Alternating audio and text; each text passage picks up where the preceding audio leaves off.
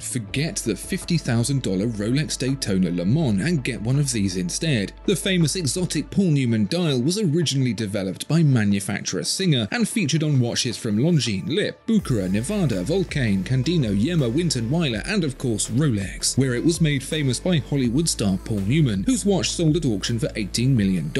Today that dial is very rare, with only a few thousand thought to have been made, until now. In a collaboration with watch brand Maen, we have created a watch that brings the exotic dial back, but for a price that's 99.99% cheaper than the original Paul Newman. And that's why you should